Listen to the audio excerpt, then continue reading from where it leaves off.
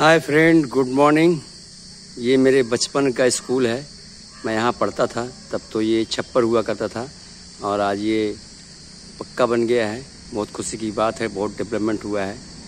ये देखिए, हमारे गाँव में इसी में हम पढ़ाई किए थे फाइव क्लास तक। ये पूरा स्कूल का स्ट्रक्चर देखिए। पहले तो यहाँ कुछ नहीं था हमारे बचपन में। आज हर चीज़ उपलब्ध है।